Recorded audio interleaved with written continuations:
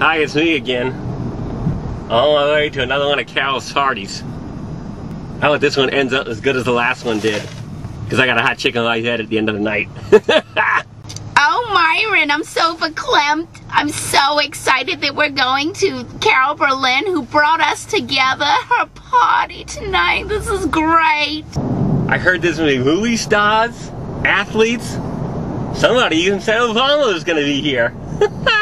I heard Steven Spielberg and Barbra Streisand are here. I can't wait. Yeah.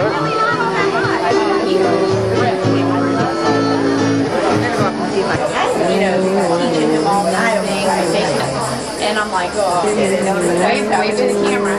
Carol, Carol, Hello. Oh, it's always a pleasure to be at Carol's party.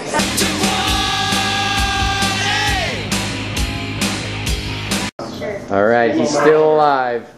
He is still alive. People came, that's for sure. I would say something, but I won't. Everything's good. Brooke came though. The girl with um, what do you call it? Um, Army wives. Uh, Army wives.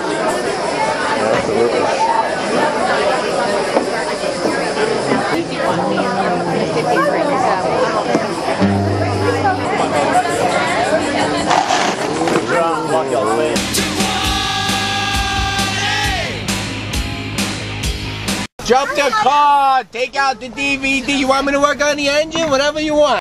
Those two games due to allergies. Bad allergies, We fix everything. We fix it all. Oh, that's how we roll. You're not walking anymore. That's what I'm talking about, baby. My intentions are for spectacular things to happen today.